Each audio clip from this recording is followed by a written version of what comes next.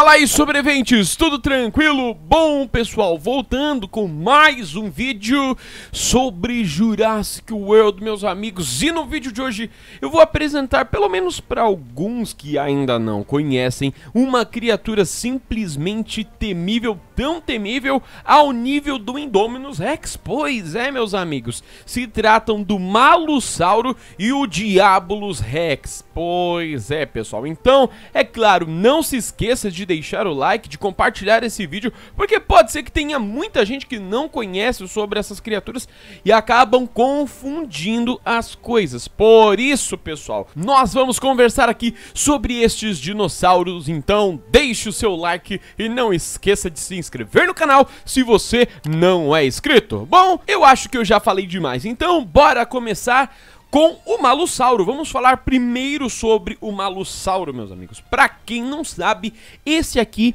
é o Malussauro do universo Jurassic. Cara, ele é simplesmente aterrorizante em sua aparência. Você pode perceber que ele tem partes, você consegue reconhecer partes de vários animais, de vários dinossauros na realidade nesse animal. Você pode perceber que ele lembra muito com Cavenator, ele pode lembrar muito um Raptor e também a própria Indominus Rex. Isso porque, meus amigos, o Malussauro, ele era um protótipo do Indominus Rex para o filme de Jurassic World. Olha só que interessante, né? Se você não conhecia, praticamente Malussauro, ele é o esboço do Indominus Rex. Ele não era um híbrido, mas sim um dinossauro fictício da China. Pois é, pessoal, ele seria um dinossauro feito para o filme. Só que essa ideia de dinossauro fictício talvez não fosse agradar a todo mundo, né? Então, por isso foi criado, é, criado não, foi é, trazido novamente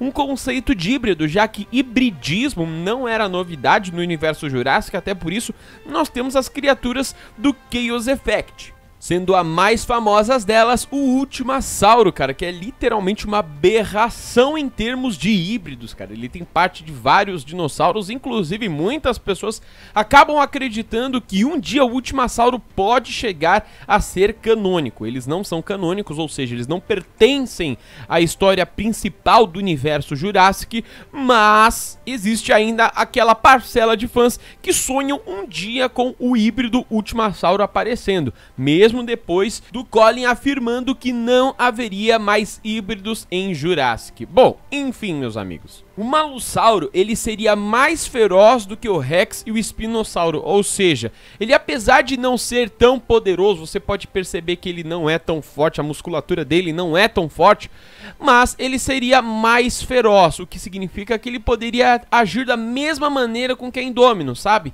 Matando tudo a todos no seu caminho, sem tomar conhecimento e ter piedade de nada nem ninguém. Ele seria mais rápido, teria o DNA de vários dinossauros e inclusive seria venenoso. Cara, imagina um animal desse tamanho ainda por cima ser venenoso, cara, pela madrugada, né? Mas com o tempo, o design do Malossauro foi evoluindo e a ideia do animal também. Por isso, o Malossauro foi sendo deixado de lado. E aí nasceu o Diabolus Rex, aquele que seria o antecessor do Indominus Rex. Então, o Diabolus Rex já teria um formato muito mais semelhante ao Indominus, tendo partes de alguns dinossauros dinossauros como o Giganotossauro, Rugops, mas também se caracterizaria pela sua alta inteligência, uma inteligência muito semelhante ao dos Velociraptors e que a própria Indominus já tem, né? Ela tem uma inteligência muito, muito alta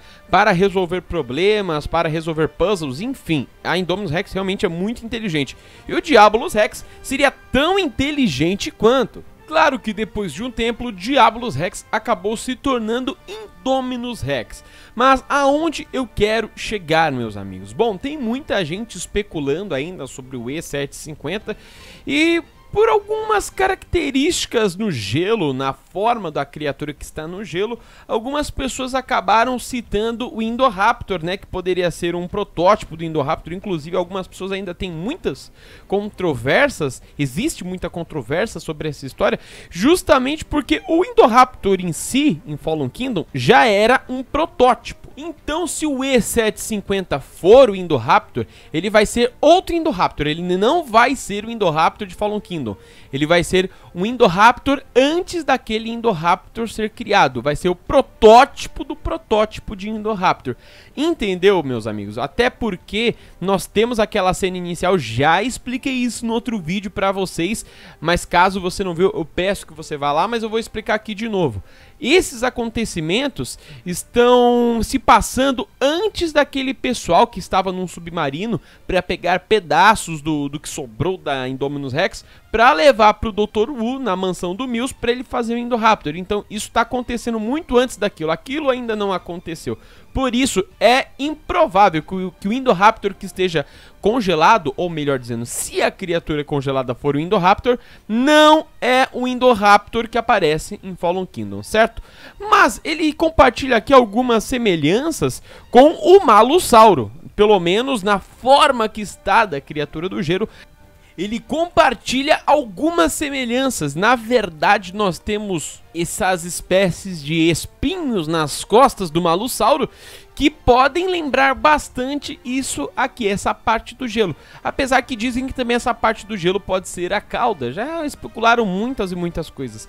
Mas realmente, meus amigos, o Malussauro, ele não é canônico. Voltando ao assunto da sua origem, ele não é canônico, o que quer dizer que até o exato momento da publicação desse vídeo, ele não pertence à história oficial de Jurassic, mas pelo fato de não ser um híbrido e casar com o que o Colin diz que não quer mais híbridos em Jurassic, então seria muito interessante finalmente introduzi-lo como dinossauro fictício, cara. Seria uma boa maneira de apresentar um dinossauro totalmente novo que não é um híbrido. E ainda assim, manter a novidade, ineditismo, sem spoiler praticamente nada de Jurassic World Dominion. Então essa é uma teoria baseada, apresentada pela silhueta que há no gelo e também para vocês conhecerem o Malussauro. Tem muita gente que fala que o Malussauro é o próprio Indominus. Não, ele não é o próprio Indominus, mas do esboço Malossauro nasceu o Diabolus Rex e do Diabolus Rex nasceu o Indominus. Então, uma coisa, uma coisa, outra coisa, outra coisa.